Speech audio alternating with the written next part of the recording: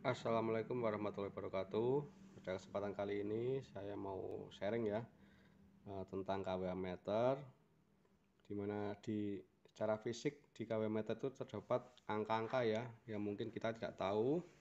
Hari ini saya mau uh, sharing ya yang saya ketahui tentang data-data tulisan yang ada di KWA meter. Di sini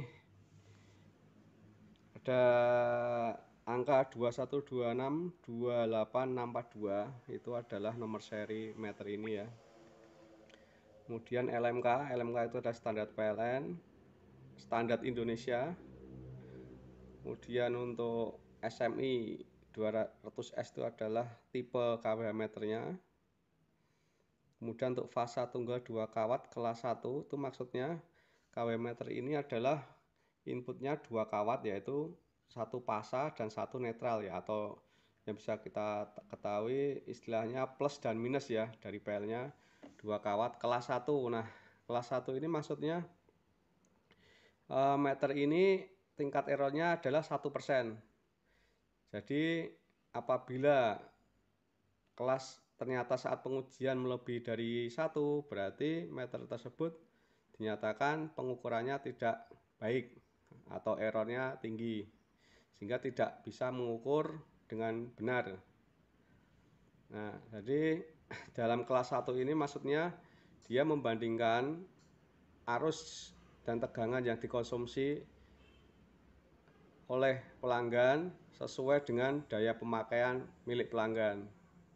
Kemudian di bawahnya ada 230 5 per 40 ampere 50 Hz maksudnya yaitu KWH meter ini dia maksimal mampu dikasih tegangan 230 volt ya. Jadi misalkan ada tegangan PLN yang naik sampai 400 maka meter ini akan rusak.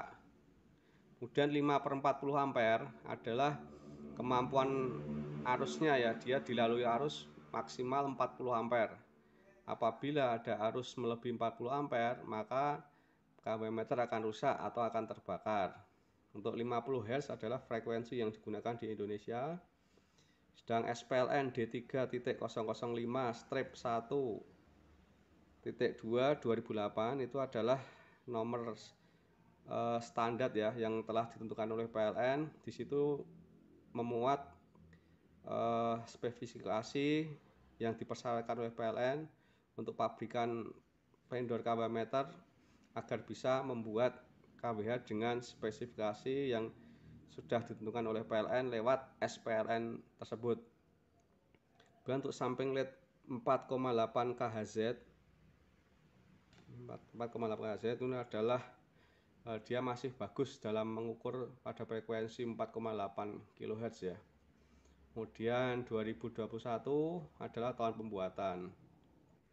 Kemudian di sini ada lampu ya, lampu indikator warna hijau. Dia sebagai indikasi kalau ada tegangan dari PLN yang sudah masuk nah untuk lampu warna kuning berarti sebagai indikator apabila ada kesalahan dalam pemasangan kawat urutan pemasangan kawat atau ada permasalahan di instalasi milik pelanggan lampu ini lampu indikator warna kuning ini akan menyala kemudian untuk lampu warna merah ini dia sebagai impuls ya jadi tiap 3200 kedipan dia akan menghitung sebagai satu kWh untuk saat ini Agustus 2021 harga per kilo KWH nya sekitar 1400an ya untuk yang non subsidi jadi oh, untuk mengukur tingkat kesalahan atau error KWH meter yang dihitung adalah untuk LED warna merah ini.